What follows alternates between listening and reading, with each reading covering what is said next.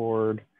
I just want to, I didn't do this in the last one, so I'll have to put up a, a, uh, a frame, but you know, just want to do this for the video's sake. Um,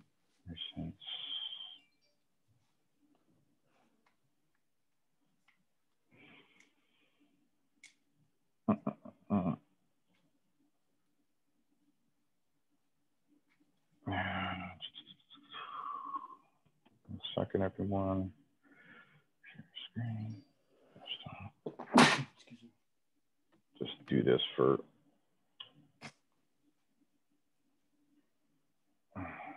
that out of the way, get that out of the way, get that out of the way, get that out of the way, this. Everybody, welcome. Uh, convert that last one to the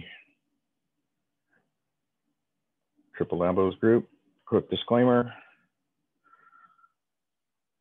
So that everybody knows that this is not investing advice. We're just having an open discussion. So uh, having said that, I will stop my share and we will make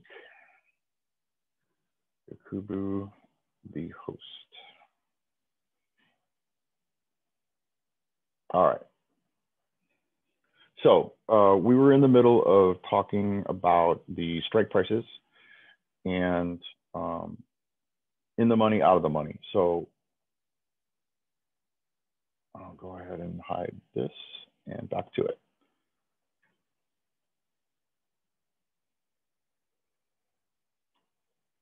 Yak, are you uh, are you muted?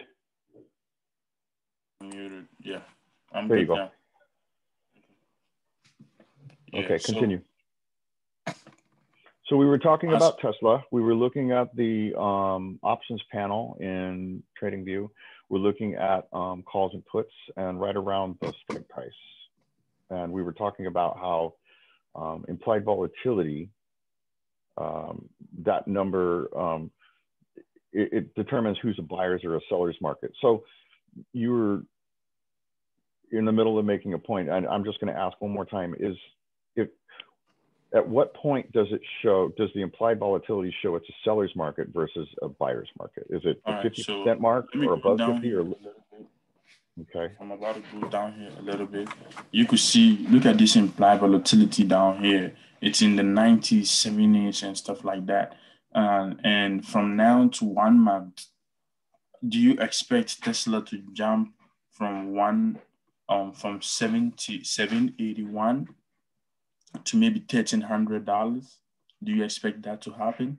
No. So exactly. the implied volatility is huge, and so uh, I, I just again for me this is really just basic understanding, and for a lot of the beginners, yeah. like I, you know when you say implied volatility, like what the heck does that mean? Okay, yeah, that's that, why I'm giving like, you the simple. Do, do I really think that it's going to go from seven hundred eighty-one dollars to thirteen hundred dollars? Yeah, probably so, not. So it's exactly. a high percentage of the volatility. So you're looking yeah. for a low, a lower number, 50 exactly 50% because and you just have a month. Even though Tesla just sometimes it could make some crazy movements, but that one mm-hmm. remember you you meaning you just speculating. You just you just playing your luck, and you, you can never tell. You understand? Sure. Even though look, we have huge open interest and stuff like that, but you see the implied volatility is like 73% and yeah, stuff, like, and it's very cheap. But remember, so, so, this cheap, you could lose it. Or most of the people here, they're trying to just swing. They're trying to just double this 132. They, they could buy like huge contracts on it. Let's say 200 contract, 500 contract. And believe me, if this double to $2, dollars mm-hmm. that's huge amount for them because they right. put in, yeah, because so, there are some people who play these kind of things, but remember, you could be wiped out like easily and the other thing is that is that um, you know options work on time. So today it's 9,506 people in that implied interest group, but tomorrow it might be a whole lot less if a bunch of people sold off, right? Yeah, kind of. Yeah, it could be. So okay. it, could reduce, it could go up. So that too is being said, and so and if that number if that number changes drastically from a lot of people interested to a, not a lot of people interested, that shows you that you know interest is dropping off and that you know, there's probably that volatility, that implied volatility is going to be even higher. And and remember, this interest is for two two two two people on both sides. There are some mm-hmm. people selling the options, and there are some people buying the options. So it's good. So there are 9,500 pairs of people that are out there talking. Exactly. You don't know. You don't know who is okay. You know. I, I wanted to read this. I wanted to post this last time. Let me let me just read it here and let you guys see if I still do have it. Yeah, if you pull it up on your screen, if you can.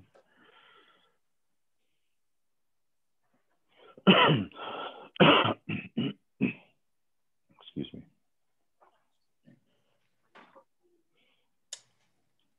Yeah, one one second. Let me check right here.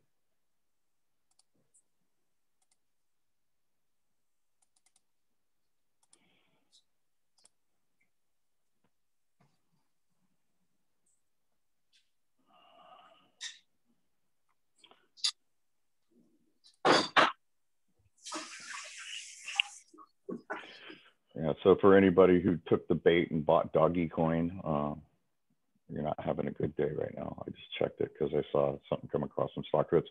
While Yakubu is pulling up this thing, um, I want to go back to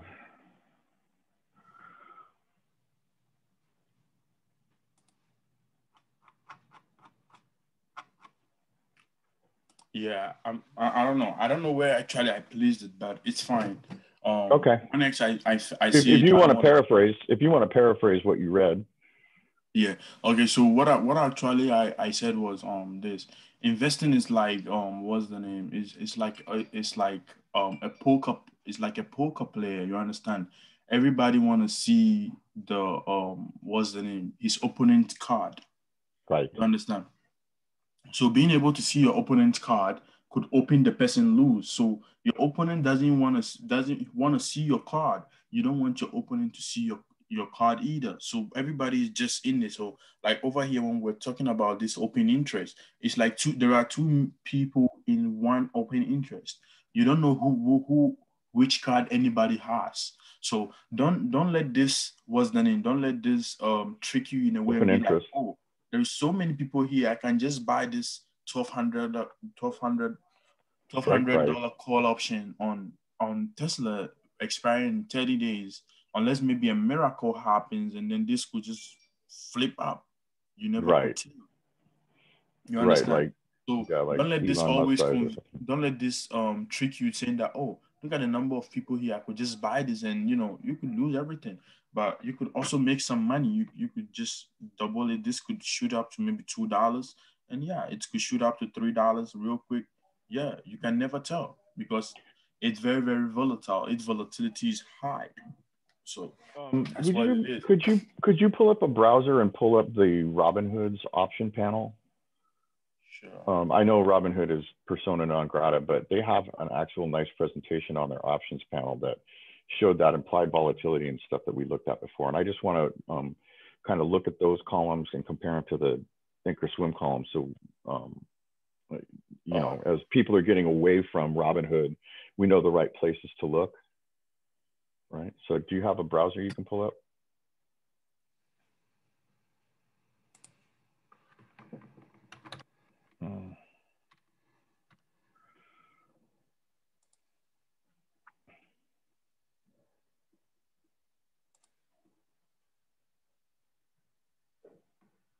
Maybe go to the Tesla options in Robinhood.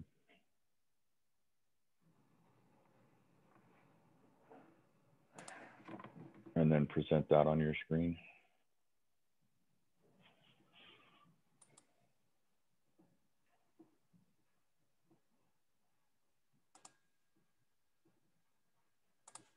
Mm -mm.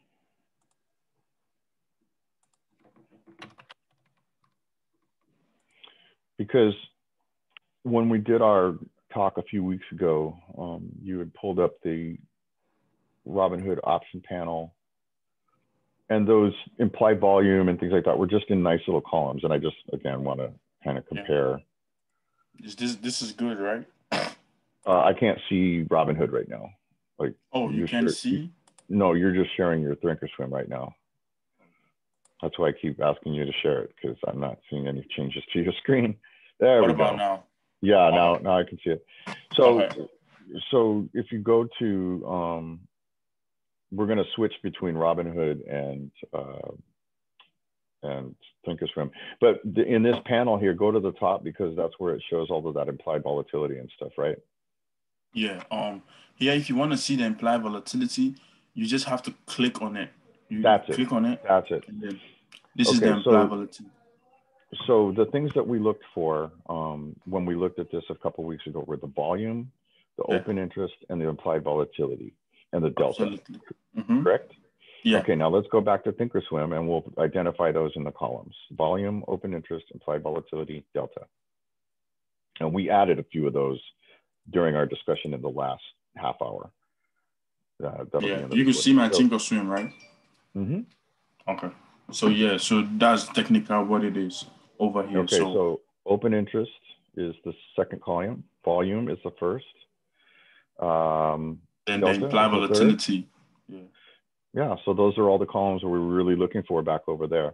And Exactly. um, so implied, vol- implied volatility, we're looking for low numbers. Um, open interest, we're looking for high numbers, but we don't want to be too far out of the money on the strike price. Absolutely. Um, and then uh, we're looking for high volume, correct? hmm And so high volume, high open interest, uh, you know, decent delta, and then the low implied volatility. Great. Um, Yeah. those, those are the things we look for. So again, let's go back to like strike price and ask price, and just like, you know, how far out of the money do you generally?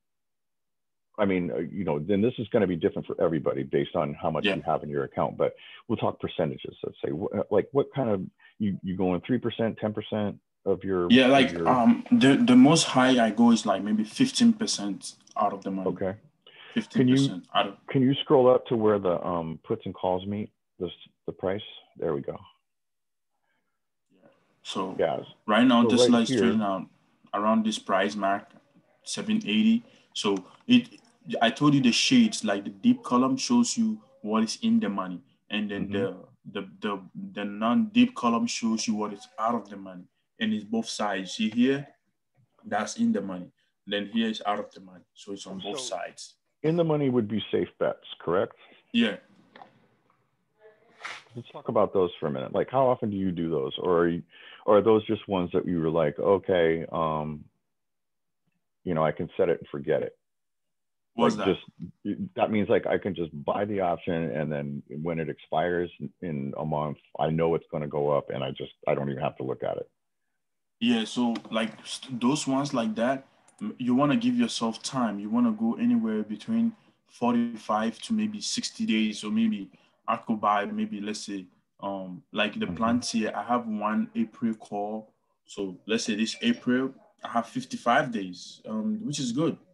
Mm-hmm. So these 55 days, um, the way Tesla is trading right now, okay. you remember Tesla what is very ex- I'm gonna go to Palantir, okay, because Tesla is very expensive. Not everybody is able to, you know, gas with it. For this, sure. So with this one, this um um Palantir, I could I could just go right here. Like I have four thousand people interested, two thousand, almost three thousand people, three thousand volume, four thousand open interest. This is good for me. And then um the delta is 0.74. Like so every fluctuating, I make 40 $74. So every that's $74. So and $25, like Twenty-five dollars Yeah. strike price is only twenty-five cents away above Exactly. the ask price, So, and it's very likely this that like it'll get this, there. I could just purchase it right now and just leave it. I don't care. Unless maybe there's a huge repulse in the market or something like that. But other Mhm. than that, I don't have to bother myself. So that's an in the money. That's an in the money bet. So you, you can pretty much you know count on that one going in your favor because Yeah. it, it's a very safe bet. And and And you also have is- time. Remember, um, Yeah. and Mike, I saw that most of the time you buy weekly options, and when it tends to expire, um, worthless. Not all the time you need to buy these weekly options. It depends when you have full conviction. Let's say, um, this stock is beaten down. Okay, there's a stock last time I posted EH. So Mm. if we all could testify, right? EH, this is EH. EH, Mhm. it, it low, it, it, it, one day, all of a sudden, the stock went down 60 up to eight dollars. Oh so wow, this yeah. is it low seven dollars, and the stock was up one hundred and twenty nine. This is the Wow. high, and then on just one day, I'm gonna close this tab. So look at where the stock is trading at. You understand? Right. So pre-market, it was starting to go down, and then just all day it just so dropped out. one day the stock went all the way here, all the way to this price. Let Hmm. me let me close. Let me take out the um, um what's the name? studies. Yeah. Yeah. So you see this like this, I and guess what? That hopefully I was able to short this stock too. Um, I was able to short it around seventy-four dollars. So as soon as it started going down, you sold because you're like, oh shit, there goes all my money. No, no, no, no. I w- I didn't have any position in this stock. Oh, I- oh, I see. I you noticed have- the drop. Yeah, because there was an article about um fraud, about a, about a fraud with this company. Mm, that'll definitely so- make your stock go down. Exactly. So when I heard about it, I shorted the stock. I um have um what's the name? Let me open my other what's the name? Uh my I open um my shorts um put um what's the name platform which is TradeZero. So Oh, okay. that's yeah, so that one is just um my shorts was the name. Um my shorts You short um, plays. yeah, uh, account. I only short with that. You understand? Oh, I see. It's a it's a shorting account. Yeah, I only short with that. And folks, don't think like shorting is bad. Shorting too is good sometimes. I know with, um with the what's the name um with um with the GameStop stuff. Many people think oh if all short sellers are bad. No, short sellers are not that bad like that. You understand? They're just a different type of seller. yeah, it's, different it's type just of trader. it's just a market and in the market everybody has a different what's the name mindset and a different ball game And that That- goes back to the type of trader you are. Are you a day trader? Are you a scalper? Are you a, a, a short seller? Are you a, um, a long holder? You know, Yeah. it, it, it, it, there's nothing bad about it. It's just a different style. And right now, uh, the short seller style just happens to be getting a lot of bad press. yeah so don't don't think like what, what's the name somebody is a is, is a short seller the person is is bad Evil. or no no no so They're not evil. so technical i was People are just I- doing what we're doing. They're trying to make money. Yeah, so I saw I saw it around seventy-four dollars, and and then I was able to locate the stock. I located just you know a handful, and then the stock went down all the way, all the way to um forty-three dollars. So around this price, um, so meaning that if you shorten the stock, you're borrowing the stock, right? So Mhm. you borrowing you borrow the stock. So when I, I borrowed the stock, it's just like you lend me your car, right? Maybe your car costs twenty five thousand dollars, and then you Mhm. lend me the car. So when you lend me the car, the car is in my possession. So now I went to the auction or I went to the car dealer and I asked the car dealer, hey, um, how much do you think this car worth? The dealer will be like, you know what? Um, I could give you maybe 20, 23,000 for this. You Mm. understand?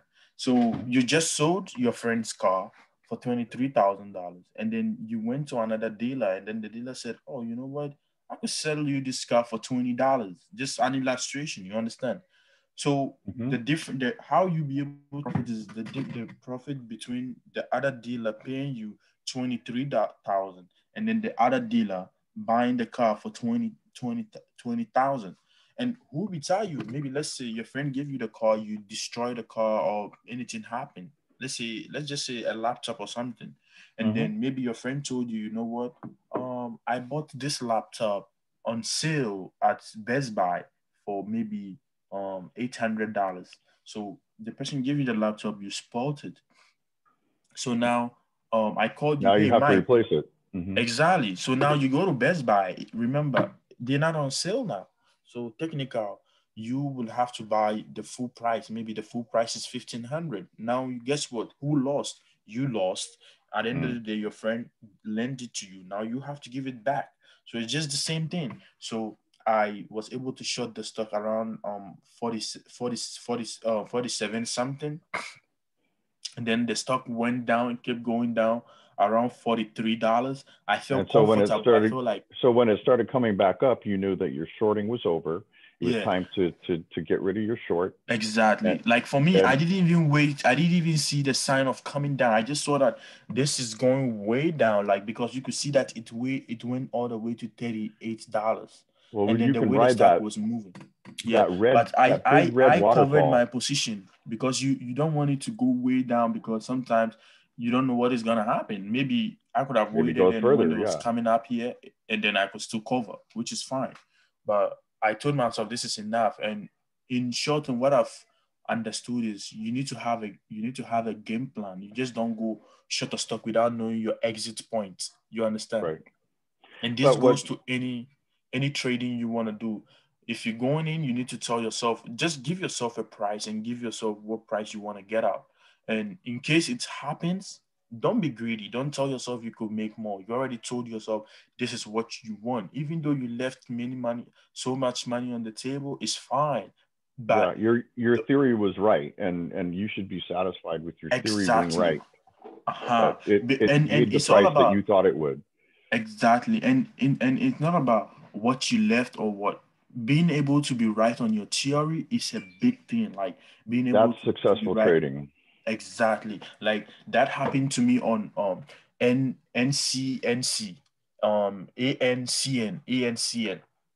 Yeah, literally at a point in time I felt like I moved the stock. I, I I felt like this stock was in my ball game. Like I I bought the stock. The stock was um what's the name? It was like around four dollars or something. I bought like mm. around three something, 380. I went into the stock at 380 bought the stock. The stock kept going. If you could, you guys could even testify. I posted in the group. The stock went yeah. all the way. Yeah, yeah. It was going. It was going, and I knew, all of a sudden I knew this is gonna touch ten dollars. All of a sudden, so I placed my sell limit to ten dollars. It hit ten dollars like just within within a fraction of a second, and it came right back again. So I I placed my sell limit. It hit the ten dollars, and then. Yeah when it was coming right down back again around um um 970 around 970 it was consolidating around that price. And then i also ended up shorting it back again. I shorted from 9 970 all the way to almost um what's the name? Five dollars. And then around five dollars i ended up buying the stock again. The stock went up again to about eight dollars. And then it's like the stock was just moving. And then at, at a point in time i felt like i'm I'm in control. It's like I I yeah. just commanded point, you know you know the movements and and exactly. you your plays so based on what you back know and forth like and and I, I could just I, I I told myself this is one of my best trade ever. I've never had this kind of um um um level of um what's the name influence on on myself and being able to understand how this is gonna move and just predict and be right from the top Think of, of it from, like, the, uh, from the button and then from the what's the name Think of it like a surfer who's found a wave and the, the wave is just curled around him. And you know what the top is and you know what the bottom is. And the, the surfer just basically goes from the top to the bottom. And so, you know, when you, what I see, um, just to replay here, is that in that dark area where the red just starts dropping, dropping, dropping, you you caught you caught notice that it's dropping. So you know that that wave is going to go down. So you yeah. started to short. You you got in at that that red line there uh, just above where your mouse is um, and you started to see it go down over in that in that waterfall and you took advantage of that waterfall. And so as it fell um, and went all the way down to what 40 that lower red line um, that's when you realize it was starting to go back up. It's not going to fall anymore. It's time to stop that um, short sell and start looking at where it's going to go, right? So, yeah. And then what you found was that channel between it looks like 75 and 6270, and it just kind of goes back and forth between there for a while. And what I'm saying is that that back and forth where it's you know you can you can play each of those up green swing, red down swing, you know, um, that's kind of like riding up and down that's where you would want to do, in my opinion, like automated trading, where you know you could have alerts that would trigger buys and sells. But um, more to the point of when you got to the point where you stopped and you got rid of your short sell, what made you decide to get an option and what was it that level that it resistance that it found there and that support level? Like what what was your decision making oh, at that point? So technical on that that stock actually I'm not it doesn't um this is not option. This is purely stocks. No, so, I know. I but but you said that you had shorted that stock at that yeah, red waterfall. But then exactly. when it came back up, that's when you decided that you should maybe look at options, correct? Did no, no, no, right? no, no. Um okay. the stock I'm not sure it's even let me see. I'm not sure it has options on it. I'm not sure it does have mm. options. No, because this no. is a penny stock. This is this is not this is this stock over the counter have options. So it was basically just um playing the stock, momentum, buying it, and then um was the name borrowing it. Like you could just borrow the stock, not necessarily using options. You could just borrow the stock just like regular borrowing. Um, oh, like, like, using your margin. Using exactly. Your margin. Yeah. Okay. So I just borrowed the stock around um um was the in 970 and then um when the stock came down back to what's the name? Um um 520 or 5 something. Mm-hmm. um mm-hmm. I decided that it's time for me to buy the stock and give it to the um broker and give it back what I what I borrowed. That's it. Right. Yeah. So that right. was what happened. And so for the new folks out there um, margin and leverage is very important. And the more margin and leverage you have with your broker the more risky you can get on the short sells um, but at the same time, you know, short sells means that you have to be able to cover that money in the end of your account at the end of the day in your account. Just you know, the risk is there, and you know, it comes if you obviously if you haven't closed something, um, you, are not going to have to call the margin, but um, the whole point of short selling is you're borrowing from the broker a certain amount of shares. You're borrowing money basically to buy the shares from the broker. And at the point where you sell the shares, you have to give that money back to the broker and you keep the profit difference. Yeah. So basically, just, just for it. just for some education for some of the um, newer folks who aren't who, who aren't accustomed to. You were saying earlier about how short sellers are getting a bad name um, yeah. And I just want to make sure that people understand what short sellers do. And short sellers take a lot of risk. They have to have a lot of money in their account to be able to cover if their bet doesn't pan out. Like if they bought, uh, like in uh, the case here where that high of 5.9 is, if they sold the stock and used the broker's money to do it, like Yakubu did, and then waited for it to get down to 4.2 at the end of that red run in the middle. Um, when he sells it, you know, um, that's when the prices change and all he has to do is give the broker back the money they loaned him. And the difference is that is the, the delta between the, the top and the bottom. And because he sold it, he took everybody who bought that stock, he took the money that they gave him for it as he sold it to them on those different prices. So it, it's a little bit convoluted explanation, but um, just so you understand what short selling is, um, again, more of an educational talk here. So um, we've covered options. I'm going to go ahead and, and uh, we've got 10 minutes left on this presentation. So I want to, um, first of all, thank you for again, explaining the options, I understand them a whole lot better and I'm going to be much better prepared uh, this week to um, to do some options. Because, you know, I'm feeling like I'm confident I'm getting like 75% wins on my yeah. trades. And so mm-hmm. now's the time when I want to, um, when I want to uh, be able to do options like this because that's when the, the growth is really going to happen for my account. Um, yeah. I'm going to, if you want to go ahead and let me see if I can take over more. How do I make myself the host? Reclaim host. There we go. All right, so I'm going to share. Uh, go back to desktop. Uh, we'll go just really quickly. so for everybody who's joined in and we started off, uh, just kind of jumped right in with Yakubu and I, and we recorded the last session. I'll put the uh, recordings up as I usually do at the end of the thing. Um, there'll be a link to the PDF for this particular presentation. Um, just a couple of things we want to cover. Again, the disclaimer. Uh, we were talking about um, different type of trading styles and type of investors that there are out there. And, you know, you can label on this. I thought this was kind of a clever way to, you know, link them to animals and whatnot. But um, let's see, we've done introductions.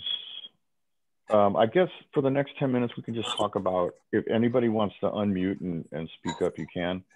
Um, talk about how your week went. Um, QS went really well for me. Um, AMC did not. Uh, RMO has been kind of a mixed bag. It had a really couple of bad days and then had a good day. Um, yeah, um, I just wanted to um, what's the name? Um, tell Miriam something real quick. Um, I saw when we were playing the SNDL. Um, hello. Yeah. yeah. So Miriam, are you there? Try to unmute and give us a yes. Who is it? Miriam, Miriam. Miriam, are you here? Yeah.